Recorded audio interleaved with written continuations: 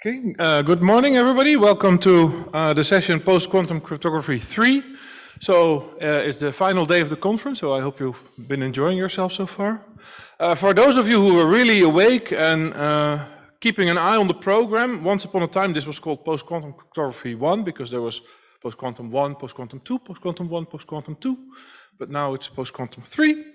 Uh, so we have three talks in this session. Uh, the first two will be online and the third one will be uh, live here in person. Uh, the first talk is uh, watermarking PRFs against quantum adversaries by uh, Fuyuki Kitagawa. And I will let him also announce his co-author. So please go ahead. So can you see my slides? Yes. So thank you for the introduction. Uh, I'm Fuki from NTT, and this is a joint work uh, with Ryo Nishimaki from NTT. Uh, I'm talking. I'm going to talk about uh, watermarking PRF against quantum adversaries. So I will start with uh, what is software watermarking. So in software watermarking, uh, we can embed a mark into a program in the way that if the mark is removed, uh, the functionality of the program is also destroyed. The purpose of software watermarking is uh, proving ownership, uh, preventing illegal copies, and so on. So in software watermarking, uh, we can deal with only unlearnable programs. So if a program is learnable, uh, the mark uh, can be easily removed by simply running the description of the original program.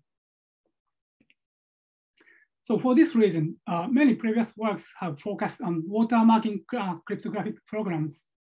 So especially uh, most of them studied a watermarking PRF, uh, where we can embed the mark uh, into the evaluation uh, circuit of the PRF.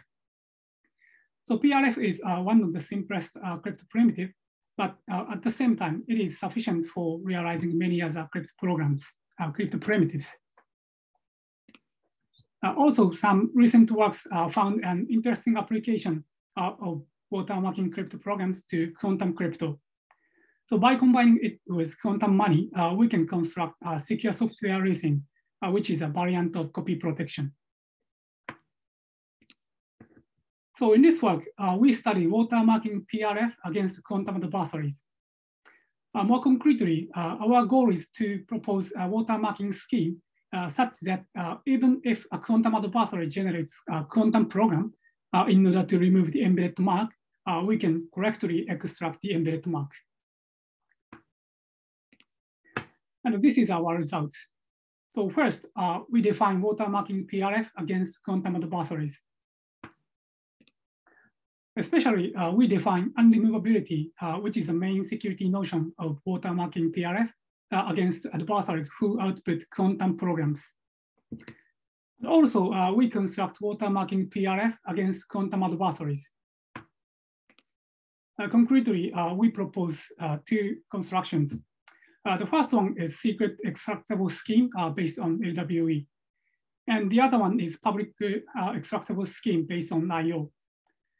so here, he, secret extractable means that we need secret extraction key uh, in order to extract the embedded mark. And on the other hand, uh, public extractable means that uh, we don't need any secret information uh, in order to extract the embedded mark. So anyone can extract the embedded mark. So our construction methodology for achieving these constructions is highly general. So it can be extended to uh, watermarking other primitives such as public key encryption. So this is our result. And I will talk about the uh, technical overview of this work. So the biggest issue uh, we have to deal with is that uh, quantum programs are inherently stateful programs. So this problem was uh, pointed out by Zhandry in the context of uh, traitor tracing against quantum adversaries. So in uh, classical traitor tracing or classical watermarking, uh, we usually assume that pirate programs are stateless programs.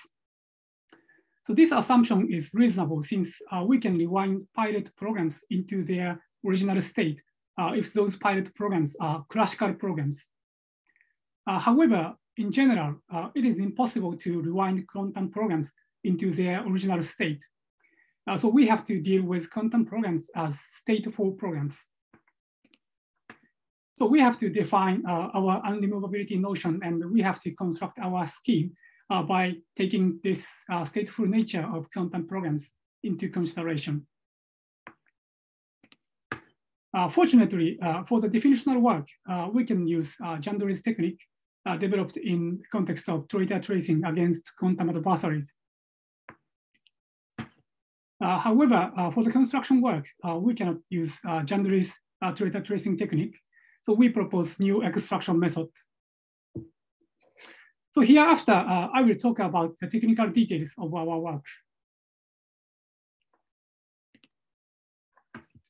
So I will start with the definition of uh, quantum watermarking, uh, watermarking against quantum adversaries. So the syntax uh, we use in this work is essentially the same as single key traceable PRF uh, introduced by Goyal et al. And it consists of four algorithms, uh, Gen, eval, mark, and extract.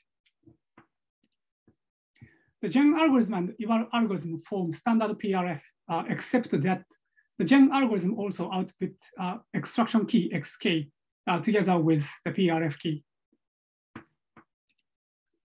And the mark algorithm takes as input uh, PRF key and the mark M and output a marked evaluation circuit C prime. And finally, uh, the extraction algorithm takes as input extraction key and quantum program psi and output a mark M. So we require uh, functionality preserving for watermarking PRF, uh, which is corresponding to the correctness notion of watermarking PRF. And uh, functionality preserving requires that the marked evaluation circuit C prime has almost the same functionality as the original evaluation circuit. So this is the syntax and functionality preserving of watermarking PRF against quantum adversaries. And now I move on to the security and unremovability. So the definition of unremovability is roughly as follows. So we generate a marked evaluation circuit C prime uh, from PRF key and mark M, and we give it to an adversary, and the adversary generates a quantum program psi. Then uh, unremovability requires that uh, no adversary can generate a quantum program psi, such that psi is a good quantum program in the sense that its functionality is close to the original evaluation circuit, but the extraction algorithm fails to extract M. Of course, uh, to make this definition rigorous, uh, we have to define the notion of good quantum program more concretely. So basically, uh, in this work, we define good quantum program as the program uh, that breaks uh, weak PRF security uh, as done by Goyal et al. But when we do this, uh, we have to take the stateful nature of quantum programs into consideration. So the problem is as follows. So to check whether a quantum program is a good quantum program or not, uh, we have to measure the advantage of the quantum program for breaking weak PRF security However, such a measurement process itself might destroy the quantum program. So if we once confirm that a quantum program is a good quantum program, the post-measurement program state uh, might not be a good quantum program anymore. So in order to avoid this issue, uh, in this work, we use the notion of live quantum programs uh, introduced by Zhandry uh, as a notion of good quantum programs. Uh, this notion of live quantum programs uh, is defined by using projective implementation, also introduced by Zhandry. So after talking about some backgrounds on quantum programs, uh, I will introduce a projective implementation and the notion of live quantum programs. So the success probability of a quantum program for breaking weak PRF security is defined as follows. So let uh, DWPRF be a distribution that generates random bit B, a random input X, random output Y0, and correct output Y1 of the input X, and output BXYB. Uh, this distribution, DWPRF, is roughly corresponding to the security game of weak PRF security.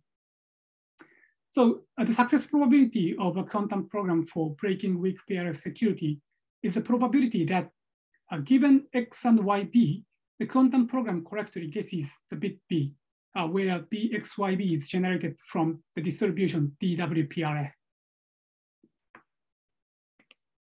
So here, uh, this quantum program psi uh, can be seen as a superposition of many quantum programs with different success probabilities with respect to the distribution DWPRF. Uh, in other words, uh, we can decompose uh, psi uh, with respect to the distribution DWPRF.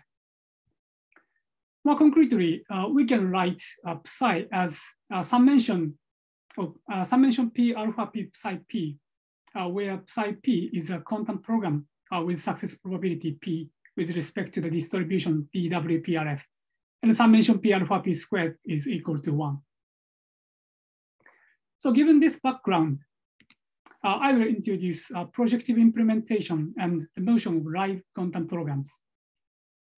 So as I said, a quantum program can be seen as a superposition of many quantum programs.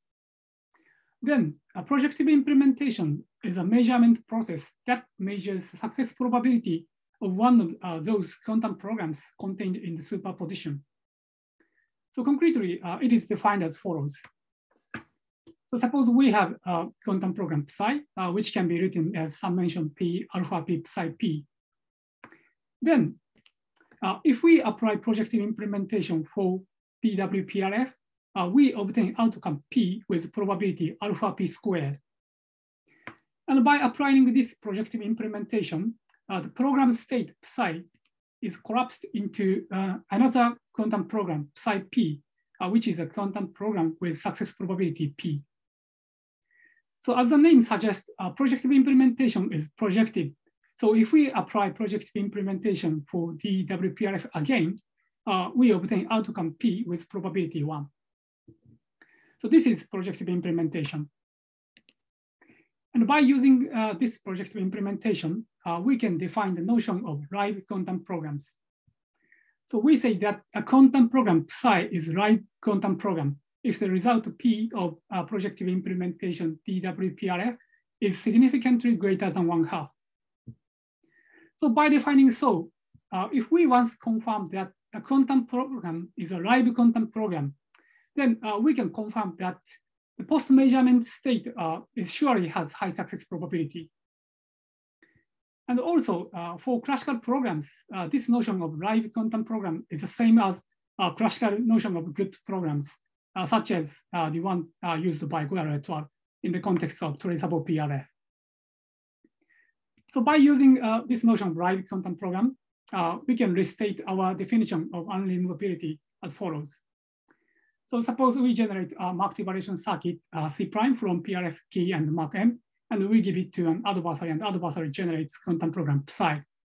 Then unremovability guarantees that no adversary can generate a quantum program psi such that psi is a live quantum program, but uh, the extraction algorithm fails to extract M. So this is a definition of uh, quantum watermarking, again, uh, watermarking PRF against quantum adversaries. So next, uh, so given this definition, uh, I will talk about how we realize uh, watermarking PRF against quantum adversaries.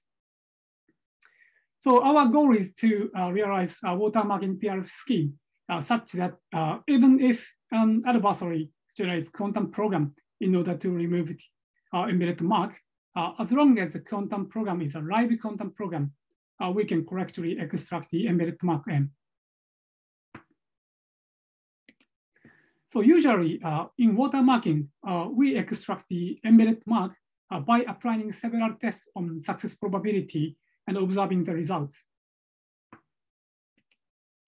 Uh, however, uh, in the case of quantum watermarking, uh, the set of applicable tests is highly limited uh, compared to the classical watermarking.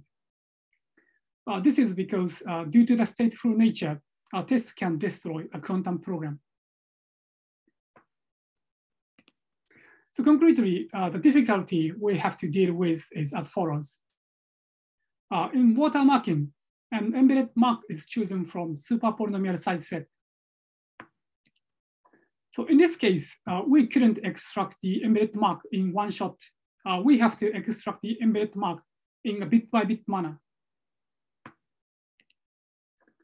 And in order to uh, realize such a bit by bit manner extraction process, uh, we need to realize a test TI for every eye such that uh, each TI, each test TI can be used to extract the ice bit of the mark and each TI does not destroy the quantum program. So if some uh, test TI destroyed the quantum program, uh, we couldn't extract the rest bit of the embedded mark. So the technical challenge uh, in this work is to realize such a test TIs. So in the rest of my talk, uh, I will talk about my main technical idea for realizing uh, these tests. So our main idea is to use uh, what we call reverse projective property of projective implementation, uh, which can be explained as follows. Uh, let D fail uh, be the distribution that generates BXY from the distribution DWPRF and outputs uh, 1 minus BXY. So recall that uh, DWPRF uh, is a distribution uh, corresponding to the weak PRF security game. Then uh, projective implementation for this distribution, the fail, uh, is a measurement that measures failure probability of a quantum program. this is roughly because a projective implementation for the fail measures the probability that the outcome of a quantum program is not B uh, given XY. Then uh, consider the following situation. So suppose we have quantum program psi, uh, which can be written as summation p alpha p psi p. And also suppose we apply uh, projective implementation for DWPRF, uh, namely we measure success probability of the quantum program and we obtain the outcome p. So in this case, uh, the quantum program is collapsed into another quantum program, uh, psi p, uh, which is a quantum program with success probability p. Uh, from the projective property of projective implementation, uh, if we apply projective implementation for DWPRF again to the quantum program, uh, we obtain outcome p with probability one. So here, the reverse projective property says that if we apply projective implementation for D fail and measure a failure probability of a quantum program after applying projective implementation for DWPRF, uh, we obtain outcome one minus P uh, with probability one. And most importantly, uh, this application of uh, projective implementation for D fail after projective implementation for DWPRF does not affect the quantum program. So in other words, the post-measurement state after applying a projective implementation for D fail uh, remains psi p. So this is reverse projective property. So we can prove uh, this reverse projective property by using the fact that uh, projective implementation for DWPRF and projective implementation for DFAIL uh, consists of exactly the same set of operators. And the only difference between these two measurements is labels of those operators. So by combining this uh, reverse projective property with the standard projective property, uh, we can obtain the following key fact.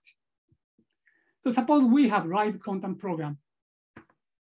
So this means that if we apply projective implementation for DWPRF and measure the success probability of the quantum program, uh, we obtain outcome one over two plus epsilon for some inverse polynomial epsilon. Then uh, our key factor says that as long as we apply projective implementation for DWPRF or projective implementation for D fail, the quantum program remains live. The quantum program is not destroyed. And every time we apply projective implementation for DWPRF, uh, we obtain outcome one over two plus epsilon. And every time we apply projective implementation for DFAIL, uh, we obtain outcome one over two minus epsilon. So in short, uh, this key fact says that uh, as long as we measure only success probability and failure probability, uh, we can measure those two values successfully without destroying the quantum program. So this is our key fact. And finally, uh, I will talk about how we realize uh, our extraction method uh, by using this key fact. So our extraction method uses a test TI with the following properties for every i. So suppose we generate a marked evaluation circuit C prime from PRF key and mark M, and we give it to an adversary, and the adversary generates a live quantum program. Then uh, this test TI has the property that if the ith bit of the embedded mark uh, MI is equal to zero, uh, from the view of the adversary, uh, this test TI looks like projective implementation for DWPRF, uh, which is a measurement on success probability. And on the other hand, uh, if mi is equal to one, from, the from the view of the adversary, uh, this test ti looks like a projective implementation for d-fail, uh, which is uh, measurement on failure probability. So if ti satisfies these properties, from our key fact, uh, the outcome of ti is 1 over 2 plus epsilon if mi is equal to 0, and the outcome of ti is 1 over 2 minus epsilon if mi is equal to 1. So we can extract uh, by applying this test ti and observing uh, whether the result is uh, greater than one half or not. And also, uh, from our key fact, uh, TI does not destroy the quantum program. Uh, this is because TI looks like either one of projective implementation for DWPRF or projective implementation for DFAIL, both of which do not destroy the quantum program. And as a result, uh, we can apply uh, this test TI for every i, and we can correctly extract the every bit of the mark. So due to the time uh, restriction, uh, I couldn't talk about how we actually realize such a test TI uh, in this work. So if you're interested in this part, uh, please check our paper. So this is a summary of my talk. So in this work, we define watermarking PRF against quantum adversaries and we also construct uh, quantum watermarking, uh, watermarking PRF against uh, quantum adversaries. Uh, we propose two constructions. Uh, the first one is secret extraction scheme based on the uh, LWE assumption, and the other one is public extraction scheme based on IO.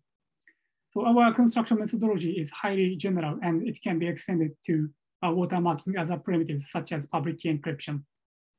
So this is the end of my, end of my talk. Uh, thank you very much.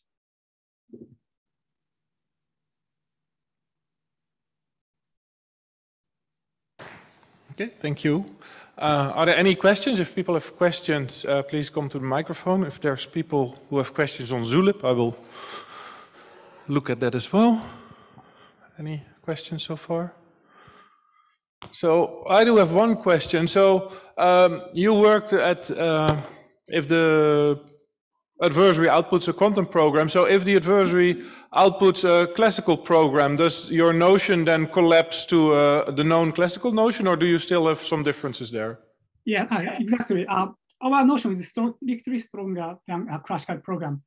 So uh, if we restrict our attention to adversaries that output only uh, classical programs, uh, our definition implies a classical watermarking PRF. Right, but is it potentially stronger? Is in this is in the sense that if you have a classical program and you satisfy the old definition, do you then still satisfy your new definition given that it's a classical program? Yes, exactly. Okay.